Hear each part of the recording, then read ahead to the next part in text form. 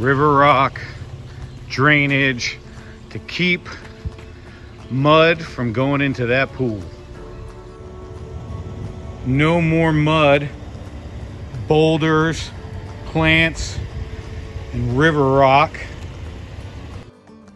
I need you to pipe out that downspout to right there and then use this river rock for that spot and do the same with those downspouts to have the water come out to right here and here. So disconnect all three and just get the water to come to the outside of the bed with some river rock. River jacks and northeast three quarter inch pea gravel, this beautiful outdoor living area, and some mulch.